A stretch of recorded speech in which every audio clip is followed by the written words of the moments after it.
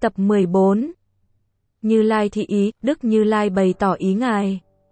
Sanh tánh vô định, tánh của chúng sanh bất định. Pháp thị chỉ dạy về Pháp. Kinh, nhĩ thời, Phật cáo địa tạng Bồ Tát. Nhất thiết chúng sanh vị giải thoát giả, tánh thức vô định, ác tập kết nghiệp, thiện tập kết quả. Kinh, lúc bấy giờ, Đức Phật bảo địa tạng Bồ Tát. Trong hết thảy chúng sanh, những kẻ chưa giải thoát tánh thức bất định, do huân tập điều ác mà kết thành nghiệp, do huân tập điều thiện mà kết thành quả. Câu đầu tiên là căn bản của lời phó chúc. Giải thoát có hai loại.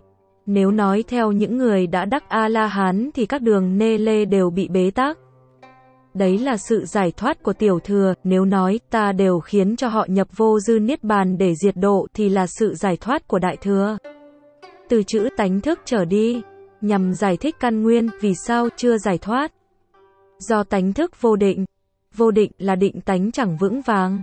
Kinh tứ tự xâm nói học giả do dự, tâm bất chuyên hằng, hoặc tấn, hoặc thoái, cố xử mê hoặc vãng lai bất tuyệt kẻ học do dự, tâm chẳng chuyên dòng. Thường hằng, hoặc tiến, hoặc lùi, khiến cho bị mê hoặc qua lại chẳng dứt là nói về ý này từ chữ ác tập trở đi, giải thích nguyên do. Tập là huân tập. Kinh chiêm sát nói, chúng sanh dĩ vô minh si ám huân tập nhân duyên, hiện vọng cảnh giới. Chúng sanh do nhân duyên vô minh si ám huân tập mà hiện ra các cảnh giới hư vọng. Do huân tập điều ác sẽ tạo các ác nghiệp như giết, trộm vân vân, kết thành ác quả trong tam đồ do huân tập điều thiện, tạo các thiện nghiệp như thí, giới vân vân, bèn kết thành thiện quả trời, người. Trong đoạn kinh văn trên đây, trong phần nói về cái nhân ác thì lược đi chẳng nói đến cái quả, trong phần nói về thiện quả thì lược đi chẳng nói đến cái nhân. Kinh trường A Hàm nói, Bỉ Thiên, nhãn tịnh kiến chư chúng sanh tử thử, sanh bỉ tùng bỉ sanh thử, hình sắc hảo xú, thiện ác chư quả tôn, ti quý tiện, tùy sở tạo nghiệp báo ứng nhân duyên. Giai tất chi chi, thử nhân thân hành ác, khẩu ngôn ác, ý niệm ác, phỉ báng hiền thánh, tín tà đảo kiến. Thân bại, mạng chung đọa tam ác đạo. Thử nhân, thân hành thiện, khẩu ngôn thiện, ý niệm thiện, bất báng hiền thánh, kiến tránh tín hạnh. Thân hoại, mạng chung sanh thiên nhân chung Dĩ thiên nhãn tịnh kiến chư chúng sanh tùy sở nghiệp duyên, vãng lai ngũ đạo. Do người ấy thiên nhãn thanh tịnh thấy các chúng sanh chết đây, sanh kia từ nơi kia sanh vào nơi đây, hình sắc xấu, đẹp, các quả thiện, ác, cao, thấp, sang, hèn. Tùy theo nghiệp đã tạo, nhân duyên báo ứng, thảy đều biết rõ. Người ấy thân làm ác, miệng nói lời ác, ý nghĩ điều ác, phỉ báng hiền thánh, tin tưởng kiến giải tà vậy. Điên đảo, thân bại, mạng chung, đọa trong ba đường ác người ấy thân hành thiện, miệng nói lời lành, ý niệm tốt lành, chẳng báng bổ hiền thánh, kiến giải tránh đáng. Có tín hạnh đến khi thân hoại, mạng chết, sẽ sanh trong đường trời người. Do thiên nhãn thanh tịnh bèn thấy các chúng sanh thuận theo nghiệp duyên đã tạo qua lại trong năm đường. Đấy là chỉ dạy, do hoặc tạo nghiệp, nghiệp là tâm suy nghĩ, thân và miệng lấy tâm làm chủ. Vì thế, kinh nói, chư pháp tâm vi bổn, chư pháp tâm vi thắng. Ly tâm vô chư pháp, duy tâm thân, khẩu danh. Dị y tâm cố, thiện ác nghiệp thành. Các pháp tâm làm gốc tâm hơn hẳn các pháp. Lìa tâm, không có các pháp.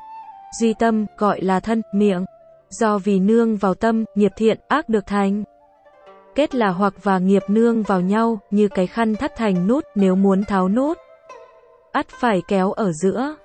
Vì thế, quốc sư Nam Dương Huệ Trung nói, khi mê thắt tánh thành tâm, khi ngộ tháo gỡ tâm thành tánh, đó là lời nói chúng ngay vào cội gốc vậy.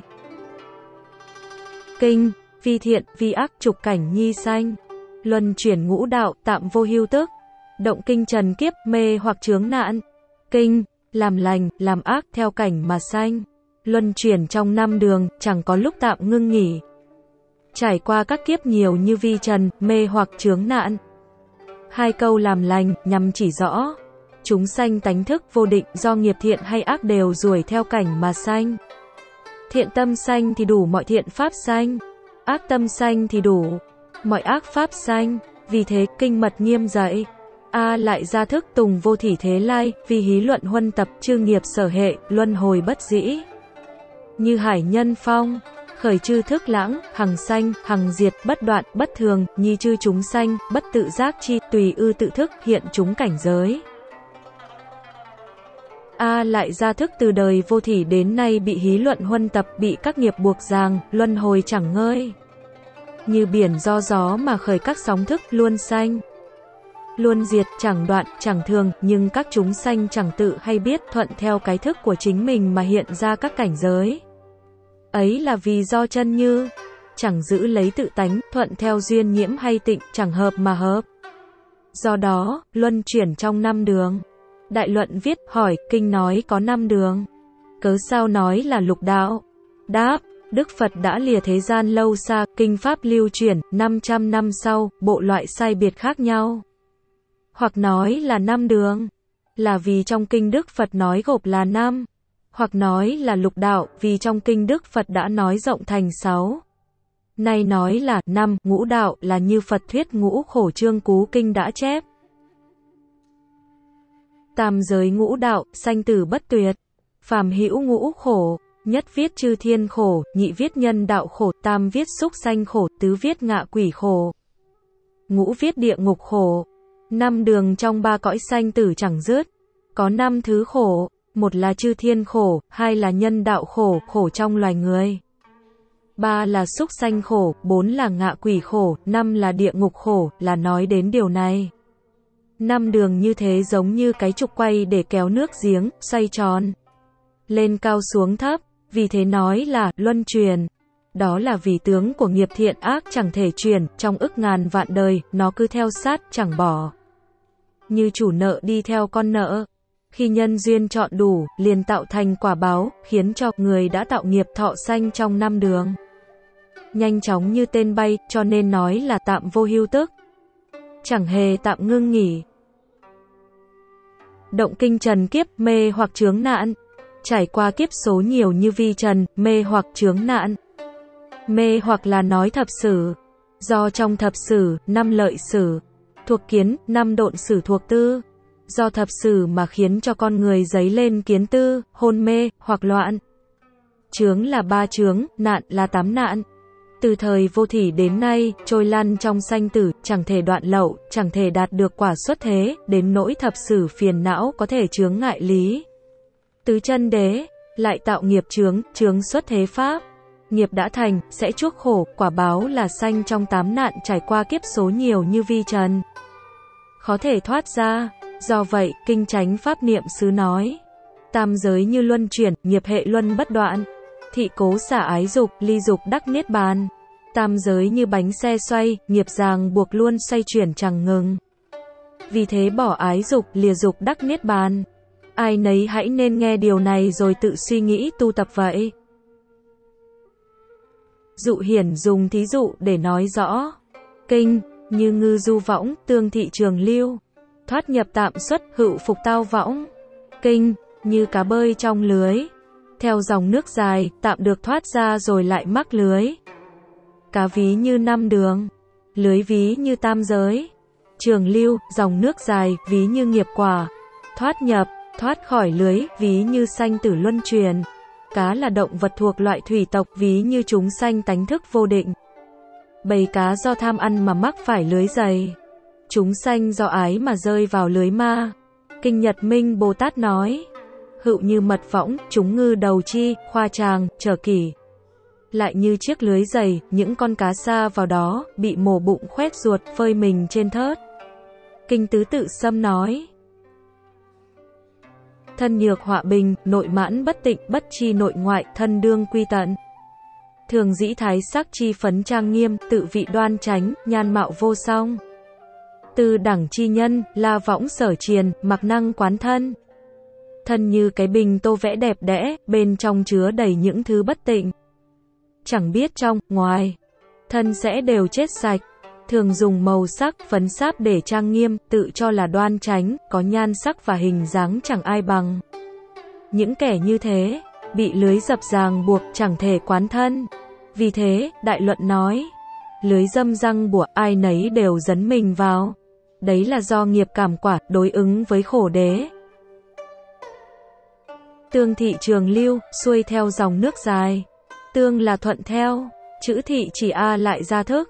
Do chủng tử thiện hay ác trong cái thức ấy huân tập hiện hành khiến tạo ra nghiệp quả thiện hay ác liên miên chẳng ngừng, cũng giống như cá bơi theo dòng nước dài, hễ đi bèn chẳng trở lại. Vì thế, Duy Thức nói, như nước chảy xiết, các vật trên dưới như cá, cỏ vân vân, đều bị cuốn theo dòng chẳng bỏ. Thức này cũng vậy, cùng với các tập khí bên trong, các pháp bên ngoài. Như xúc vân vân, luôn liên tục lưu truyền. A lại ra thức từ vô thỉ đến nay luôn tương ứng với năm thứ tâm sở là tác ý, xúc, thọ, tưởng và tư. Đấy là do, hoặc mà tạo nghiệp đối ứng với tập đế. Sách Kim Quang Minh Kinh Văn Cú cũng dùng nước để đối ứng với tập đế, vì bản thể của nước là thấm nhuần chúng sanh, như tập có thể giúp khổ. Trường lưu, một nghiệp nếu thành, tội chẳng có ngàn mé, trăm ngàn vạn đời, thọ báo chẳng tận. Thoát nhập tạm xuất, tạm được thoát ra, từ tam đồ mà thăng lên nhân thiên. Hữu phục tao võng, lại bị mắc lưới, từ nhân thiên lại đọa vào tam đồ. Do vậy, kinh ngũ khổ trương cú nói, tam ác đạo giả thị vi nhất thiết chúng sanh chi ra, tạm đắc vi thiên, tạm đắc vi nhân, thí như tác khách. Tác khách, nhật thiểu, quy ra nhật đa. Ba ác đạo chính là nhà của hết thầy chúng sanh. Tạm được làm trời, tạm được làm người, ví như làm khách. Làm khách thì ít, về nhà thì nhiều. Người học hãy suy nghĩ, gắng sức tinh tấn, hòng được thoát khổ, đấy chính là nói về chuyện này đấy. Hợp Minh nói gộp chung lại. Kinh, dĩ thị đẳng bối, ngô đương yêu niệm. Kinh, do những kẻ ấy mà ta phải lo nghĩ. Đức Phật dạy, khó được thân người, khó chọn đủ sáu tình thức, miệng khó biện luận chúng, khó đạt được tài cán, thông minh, khó đạt được thọ mạng lâu dài, khó gặp người sáng suốt, khó có lòng tin. Thẳng thắn, khó phát đại tâm, khó nghe kinh pháp, khó gặp Đức Như Lai. Thế gian có loài cây tên là yêu đàm bát, Udumbara, linh thụy hoa, chỉ có trái. Không có hoa, như lai xuất thế, cây mới có hoa. Đã được làm thân người, có đủ sáu tình thức, miệng biện luận thông suốt, hay khéo, thọ mạng lâu dài, gặp gỡ. Người sáng suốt, phát Bồ Tát tâm, niềm tin ngay thẳng không lui sụt, nghe chọn kinh pháp, gặp như lai tại thế.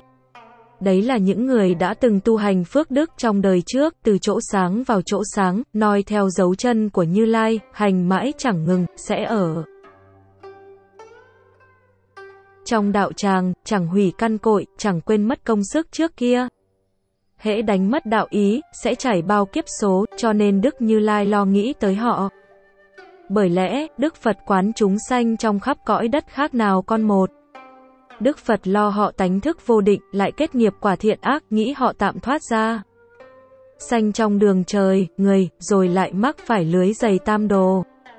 Vì thế, ta ân cần phó chúc ông hãy cứu giúp, giải thoát họ. Nhữ nguyện độ tội, ông nguyện hóa độ chúng sanh tội khổ.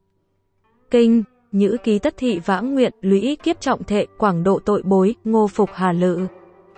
Kinh, Ông đã chọn nguyện xưa ấy, nhiều kiếp phát trọng thệ rộng độ những kẻ tội khổ, ta còn lo chi nữa. Chuẩn theo kinh văn trong phần trên, từ ngữ tội bối. Những kẻ tội khổ chỉ chung năm đường. Ta lo nghĩ chính là vì những kẻ ấy. Ông nay đã phát nguyện độ họ, ta còn lo lắng chi nữa. Hỏi, chư thiên thăng lên trốn thanh tịnh, tu dòng thiền định, thất chúng tăng tục đoan nghiêm, cung kính vâng giữ luật nghi, vì sao cũng gọi là tội bối. Đáp, trên cõi trời cũng có các nỗi khổ tức cũng là khinh báo nê lê địa ngục chịu báo ứng nhẹ. Lại nữa, lúc ở trong loài người, do chẳng học hiểu, luôn mê muội. Đối với đạo Pháp tuy tu các điều thiện, chẳng trừ tà báo. Vì thế, luận câu xá nói, kẻ tại gia do giữ lấy ngũ trần, cho nên giấy lên đấu tranh. Hàng xuất gia do, giữ lấy các kiến giải, cho nên giấy lên đấu tranh. Thành thật luận nói, nếu người nào chỉ giới mà chấp đó là thanh tịnh thì gọi là giới thủ kết tức là cho rằng các thứ do chính mình chấp giữ mới là chân thật, những thứ khác đều là vọng ngữ thì gọi là kiến thủ kết. Hai điều ấy chính là căn bản cho sự đấu tranh của người xuất gia. Hơn nữa, giới thủ là sự trói buộc của người xuất gia, các dục là sự trói buộc của người tại gia. Vì thế, những thứ như giới thủ chỉ là điều lành thế gian. Chuốc lấy cái quả sanh tử, do vậy gọi là tùy khổ thuận theo sự khổ, chẳng phải là đạo pháp chân thật. Kẻ ngu lắm mê, do chấp trước hư vọng mà sanh ra tội. Theo đó, người xuất gia há chẳng thuộc vào bọn tội khổ ư? Vì thế biết là thất chúng thuộc nội giáo hễ có chấp trước thì đều là sai. Lục sư ngoại đạo hễ chẳng chấp thì đều là tránh. Nếu đã thấu hiểu các pháp và nhân, đều là không, nhất chân vốn tịch diệt nhập bình đẳng môn, dạo chơi trong nhà vô vi, hết thảy vô ngại, một đường thoát khỏi sanh tử. Thì cái danh xương tội bối, há còn có ta trong ấy nữa hay chăng? Đương cơ tránh vấn thệ nguyện, bậc đương cơ hỏi về thệ nguyện. Tự tại vấn lũy kiếp phát hà nguyện. Ngài định tự tại vương hỏi trong bao kiếp. Địa tạng Bồ Tát đã phát nguyện gì? Dĩ địa tạng các phát hà nguyện vấn, hỏi Ngài địa tạng đã phát nguyện gì? Kinh, thiết thị ngữ thời, hội trung hữu nhất. Bồ Tát Ma Ha Tát danh định tự tại vương, bạch Phật ngôn, thế tôn. Địa tạng Bồ Tát lũy kiếp dĩ lai, các phát hà nguyện, kim mông thế tôn ân cần tán thán. Duy nguyện thế tôn, lược nhi thuyết chi. Kinh, nói lời ấy xong, trong hội có một vị Bồ Tát Ma Ha Tát tên là Định Tự Tại Vương, bạch cùng Đức Phật rằng. Thưa Đức Thế Tôn, Địa tạng Bồ Tát từ bao kiếp đến nay, đã phát những nguyện gì mà nay được Đức Thế Tôn ân cần tán thán. Kính mong Đức Thế Tôn hãy nói đại lược. Trước tiên là giải thích về danh xưng của bậc đương cơ, bậc đại sĩ định tự tại vương là rồng trong loài người. Thế gian có ấy ngài đều xa lìa, đã giải thoát. Các trói buộc, các lậu đã hết. Na già thường tại định, chẳng có lúc nào không định. Được tự tại nơi định nên gọi là định tự tại vương. Từ Bạch Phật trở đi là lời hỏi. Vừa mới nghe Đức Thế Tôn nói Địa Tạng Bồ Tát đã phát nguyện ấy, phát ra trọng thệ suốt bao kiếp, chẳng biết trong bao kiếp ấy, Ngài đã phát. Những nguyện gì, khiến cho nay Ngài được Đức Thế Tôn không ngớt lời tán thán trong đại hội vậy? Từ di nguyện trở đi, là lời thỉnh cầu xin hãy nói nguyện trong. Bao nhiêu kiếp của Địa Tạng Bồ Tát, xin hãy nói đại lược. Đức Phật thuyết Pháp có hai môn là cặn kẽ và đại lược, nay định tự tại Vương Bồ Tát thỉnh Phật nói đại lược ước chúng sanh nghiệp cảm phát tâm đáp. Trả lời, do xét theo nghiệp cảm của chúng sanh mà phát tâm. Giới thính, hứa thuyết, gian bảo hãy lắng nghe, hứa nói. Kinh, nhĩ thời, thế tôn cáo định tự tại vương Bồ Tát. Đế thính, đế thính, thiện tư niệm chi. Ngô đương vị nhữ, phân biệt giải thuyết. Kinh, lúc bấy giờ, Đức Thế Tôn bảo định tự tại vương Bồ Tát. Lắng nghe, lắng nghe. Hãy khéo nghĩ nhớ, ta sẽ vì ông phân biệt, giải nói. Dằn dạy hãy lắng nghe, khéo nghĩ nhớ, vì Phật Pháp rộng sâu, nguyện môn rộng lớn, chỉ do tín lực thì mới có thể tiếp nhận. Đại luận nói, chuyên nhìn, nghe Pháp, như khát muốn uống, nhất tâm nhập vào ý nghĩa của từ ngữ. Hớn hở nghe Pháp, tâm buồn vui lẫn lộn. Đối với người như thế thì đáng nên nói. Do, lắng nghe, khéo suy nghĩ, có thể thành tựu tam huệ. Tiếp đó là hứa nói. Hết thầy các pháp vốn chẳng thể nói, bất sanh, bất diệt, pháp như niết bàn, nay do nhân duyên mà phân biệt, giải nói. Đăng tích nguyện sự, nêu bày nguyện xưa. Tránh minh tích nguyện lợi ích, nêu bày lợi ích do nguyện xưa, thuật tích thệ nguyện, thuật lại thệ nguyện xưa. Tiểu quốc vương sở phát nguyện, lời phát nguyện của tiểu quốc vương. Thuật vương Phật kiếp hiệu nêu ra Phật hiệu, kiếp số và danh hiệu của vua. Kinh, nãi vãng quá khứ vô lượng A Tăng Kỳ Na do tha bất khả thuyết kiếp. Nhĩ thời, hữu Phật hiệu nhất thiết trí thành tựu như lai, ứng cúng. Tránh biến chi, minh hạnh túc thiện thệ, thế gian giải, vô thượng sĩ, điều ngự trượng phu, thiên nhân sư, Phật Thế Tôn. Kỳ Phật thọ mạng lục vạn kiếp. Kinh quá khứ vô lượng A Tăng Kỳ Na Đo Thơ bất khả thuyết kiếp về trước. Lúc bấy giờ, có Phật hiệu là nhất thiết trí thành tựu như lai, ứng cúng. Tránh biến chi, minh hạnh túc thiện thệ, thế gian giải, vô thượng sĩ, điều ngự trượng phu, thiên nhân sư, Phật Thế Tôn. Vị Phật ấy thọ sáu vạn kiếp. Trước hết, trần thuật kiếp số lâu xa. Từ nhĩ thời, lúc bấy giờ, trở đi, nêu ra danh hiệu của Phật. Hiệu là do khẩu và khảo ghép lại, nếu thêm vào chữ hổ. Sẽ có âm đọc giống như háo. Thì có nghĩa là âm thanh giận dữ của con cọp.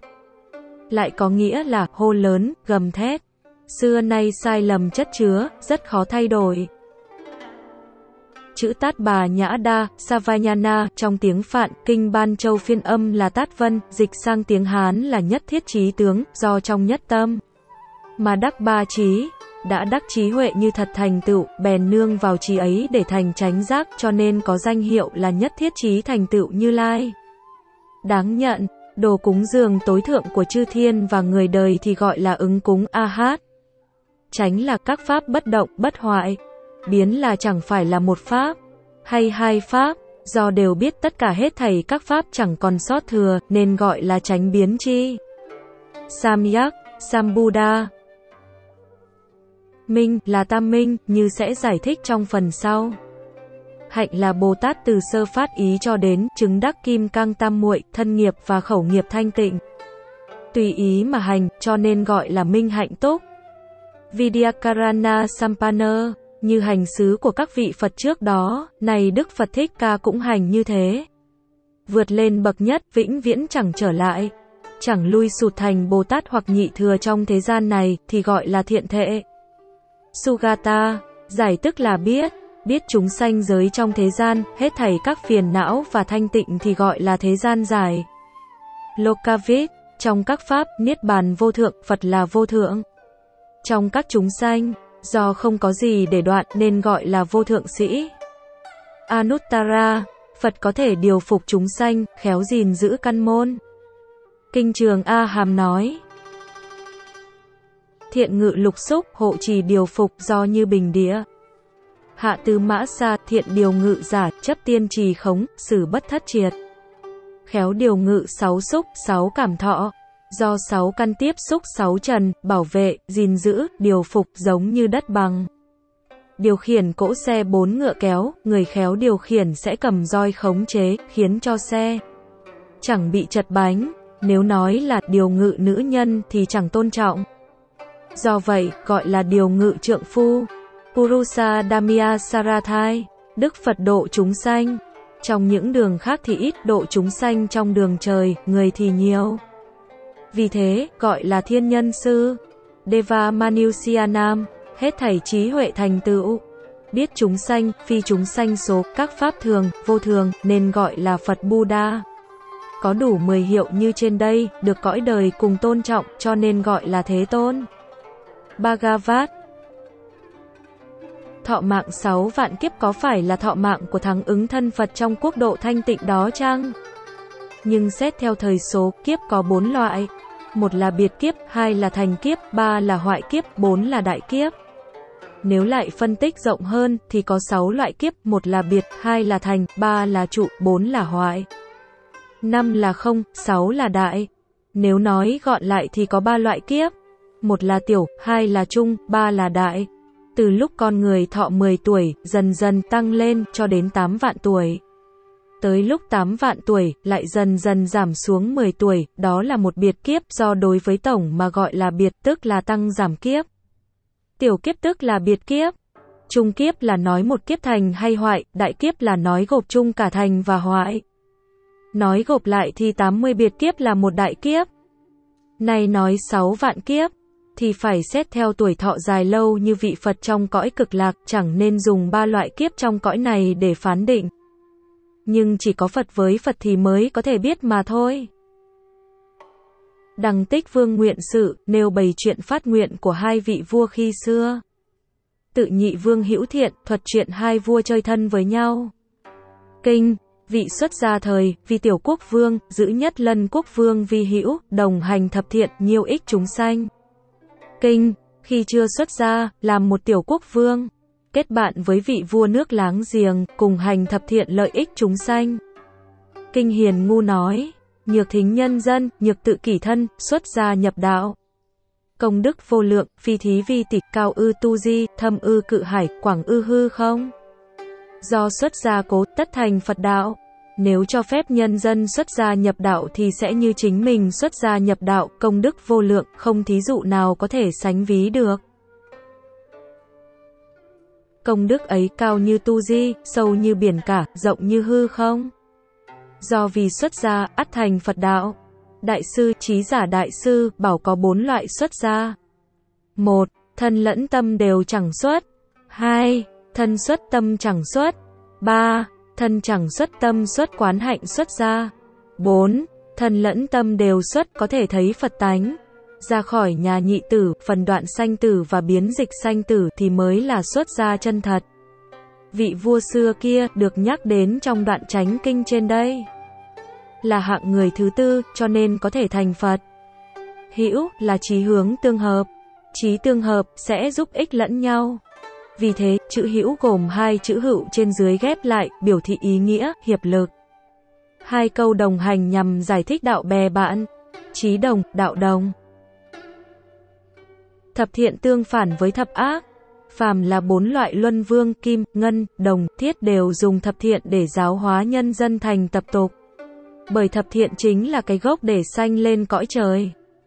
Này những vị tiểu vương đồng hành thập thiện đều có cái tâm phổ từ tâm từ chọn khắp. Kinh A Nan, vấn sự Phật cắt hung nói. Thập ác oán ra, thập thiện hậu hữu, an thần đắc đạo, giai tùng thiện sanh. Hữu năng thủ tín, phước báo tự nhiên. Tùng thiện, trí thiện, phi thần thọ giữ. Cố ban tuyên pháp giáo, thị hiện nhân dân, vị tác phước điền.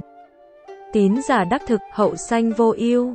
Thập ác là oán gia, thập thiện là bạn thân thiết, an tâm đắc đạo đều do thiện sanh ra.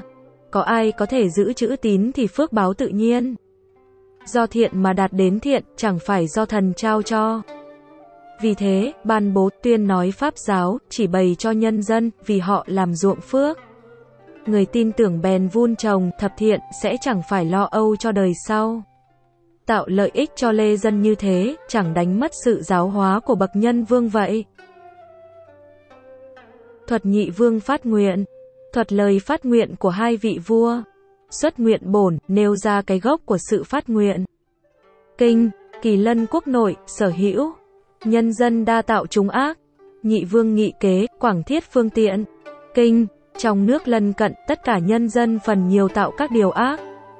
Hai vua bàn kế, rộng lập phương tiện, nhân dân là cái gốc của nước nhà. Dân là chúng sanh. Lúc trời đất mới sanh ra con người, bề ngoài họ chất phác, nội tâm chân thuần. Ai nấy đều toàn là một khối hỗn độn.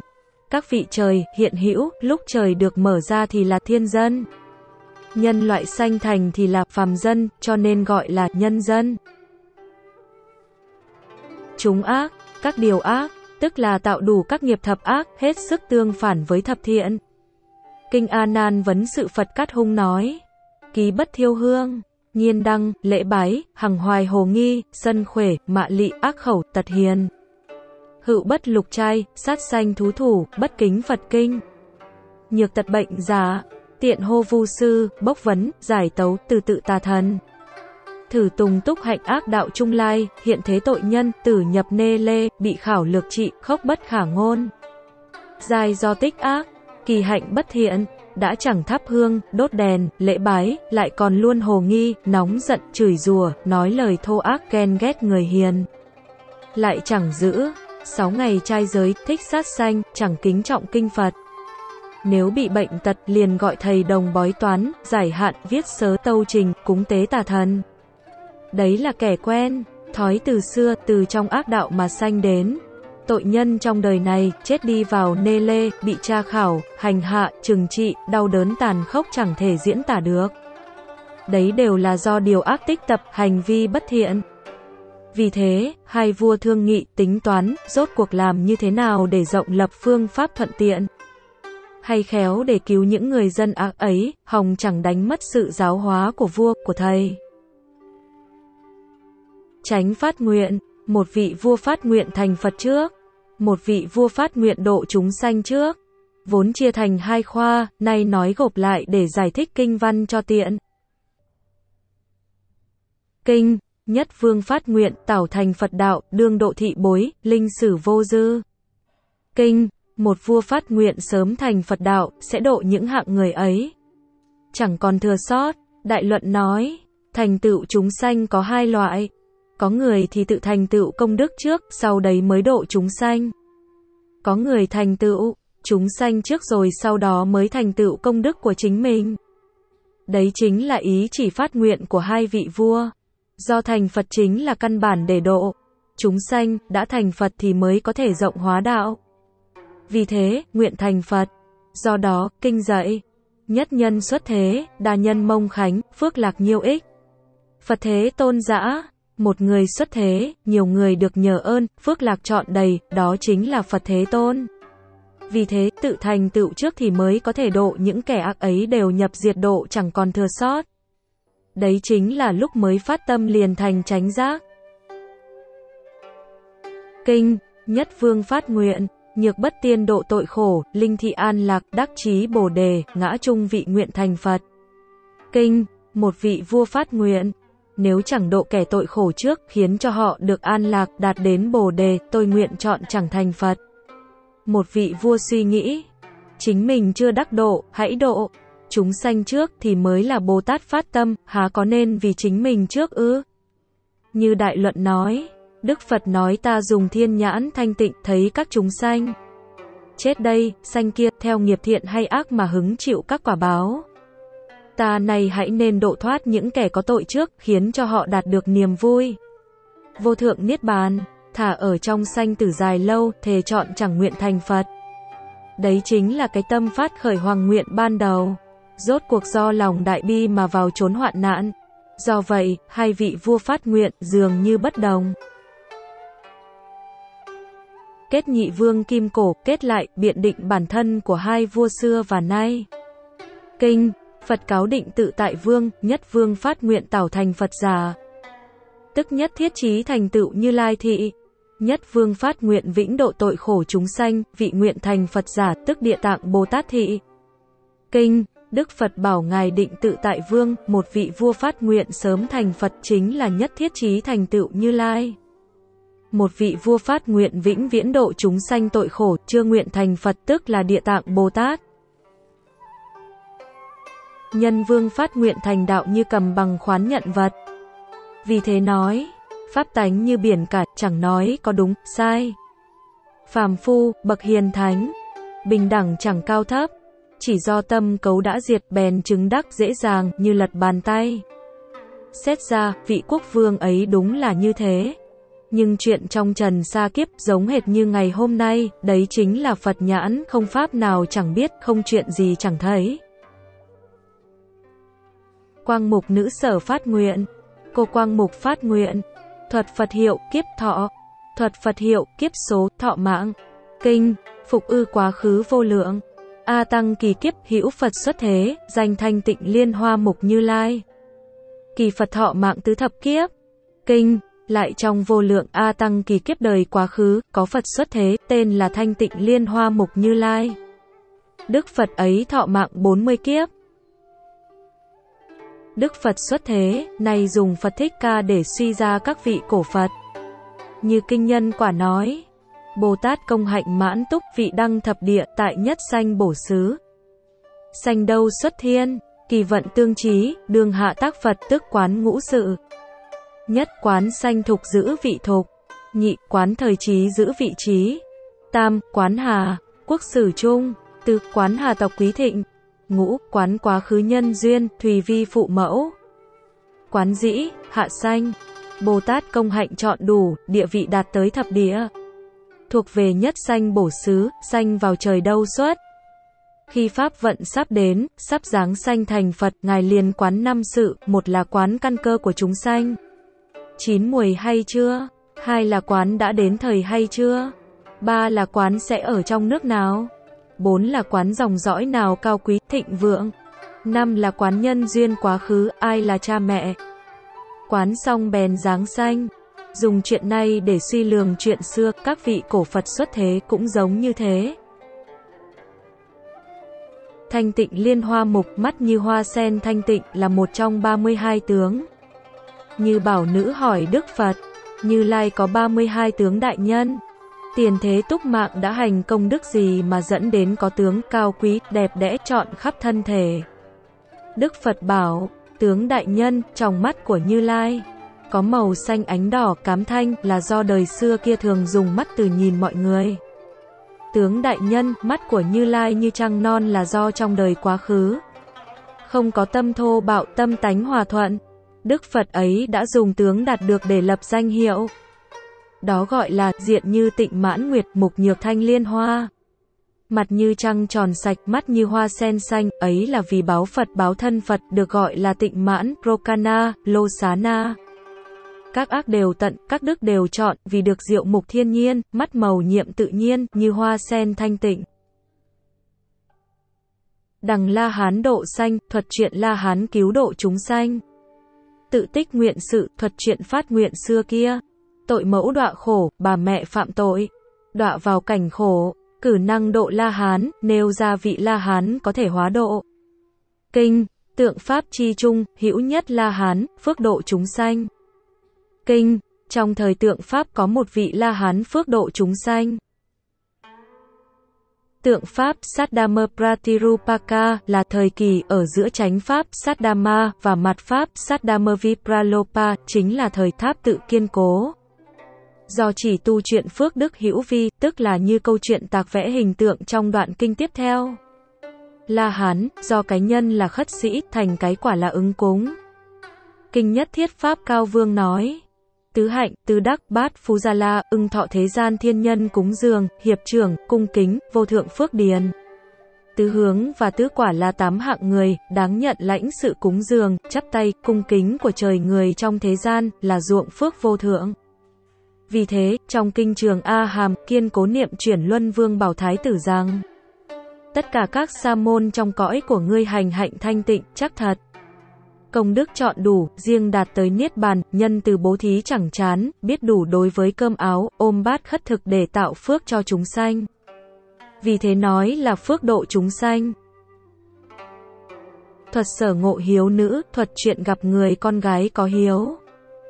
Xuất danh, nêu tên, kinh, nhân thứ giáo hóa, ngộ nhất nữ nhân, tự viết quang mục. Thiết thực cúng dường, kinh, Do lần lượt giáo hóa, gặp một cô gái tên là Quang Mục sắp đặt thức ăn cúng dường. Như Lai đã diệt độ, La Hán theo thứ tự, dạy mọi người hóa ác thành lành, chuyển phàm thành thánh. Tên là Quang Mục, theo kinh linh su, tinh khí của ngũ tạng lục phủ đều đổ dồn vào mắt.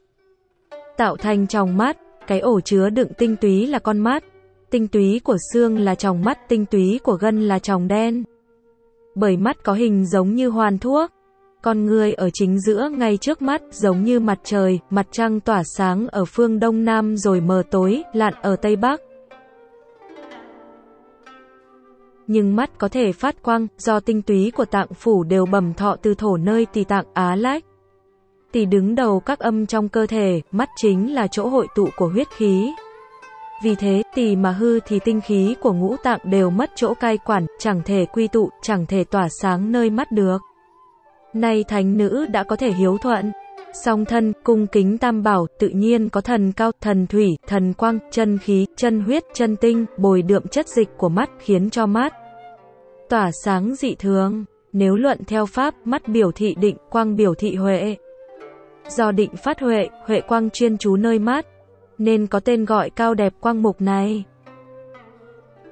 Thiết thực cúng dường, thức ăn chính là ngoại mạng của chúng sanh người cầm thức ăn thí cho người khác sẽ có 5 công đức, sẽ đắc đạo. Một là thí mạng, hai là thí sắc, ba là thí lực, bốn là thí an, thí yên ổn, năm là thí biện, ban cho biện tài, đấy là năm phước. Nếu thí cho La Hán, phước gấp trăm lần, như xưa kia, Ngài Ana Luật, A Nậu Lâu Đà, Aniruddha, dâng thí một chén cơm cho vị bích chi Phật. Bèn cảm quả báo 91 kiếp chẳng nghèo túng, lại còn đắc đạo quả do đó cần phải cúng dường. Vấn nguyện, hỏi về ước nguyện. Kinh, La Hán vấn chi, dục nguyện hà đằng. Kinh, La Hán hỏi rằng, muốn nguyện những gì? Thời Đức Phật khuôn phép. Thông thường khi tiếp nhận cúng dường là ăn xong, ắt phải hỏi thí chủ mong muốn gì? Như Ngài Ca Diếp hỏi bà mẹ nghèo. Này ý cụ mong mỏi những gì? giàu sang, có thế lực trong thế gian, chuyển luân thánh vương và tứ thiên vương. Thích phạm chư thiên, nếu muốn đắc quả tu đà hoàn cho đến tránh giác đều có thể thỏa nguyện là như vậy đó. Bạch sự thưa trình sự việc. Hiếu nữ trần sự, hiếu nữ thưa chuyện. Kinh, quang mục đáp ngôn, ngã dĩ mẫu phong chi nhật tư phước cứu bạt. Vị chi ngã mẫu sanh sử hà thú. Kinh, quang mục đáp rằng, trong ngày mẹ con mất con đã làm phước để cứu bạt chẳng biết mẹ con sanh vào đường nào. Vong là đã mất chẳng còn. Chữ vong là do nhập vào và ẩn ghép lại ý nói. Vào chỗ ẩn kín, mẹ chết con làm phước giúp cho, đấy chính là chuyện tránh yếu. Của người con hiếu thảo, cha mẹ sanh ra thân ta, ta nương nhờ bú mớm mà khôn lớn thành người. Ân ấy, đức ấy, trải bao kiếp khó đền. Kinh Niết Bàn dạy, tri ân giả, đại bi chi bổn, bất tri ân giả, thậm ư xúc sanh. Biết ơn là cái gốc của lòng đại bi. Kẻ chẳng biết ơn, tệ hơn xúc sanh. Nay cô Quang Mục muốn biết chỗ mẹ thác xanh, có thể nói là biết được cái gốc để báo ân, vượt xa những tình kiến thông thường vậy. La Hán nhập định, thuật định trung kiến mẫu. La Hán thuật chuyện trong định thấy mẹ của cô Quang Mục. Kinh, La Hán mẫn chi, vị nhập định quán. Kiến Quang Mục nữ mẫu đọa tại ác thú, thọ cực đại khổ. Kinh, La Hán thương xót bèn nhập định để quán, thấy mẹ cô Quang Mục đọa vào đường ác, chịu khổ cực lớn. La Hán thương xót cô hiếu thảo gấp bội lẽ thường, vì thế, nhập định quán mẹ cô ta sanh về đâu. Chữ kiến ở cuối câu trước, hiển thị Huệ nhãn có thể quán.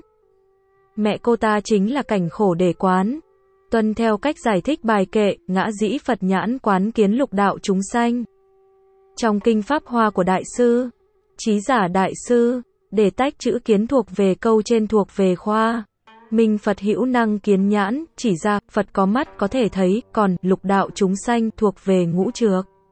Được thấy, trong bài kệ năm chữ của kinh ấy, còn tách chữ kiến thuộc về câu sau, huống chi kinh văn ở đây liên tiếp, há chẳng đọc theo cách này ư?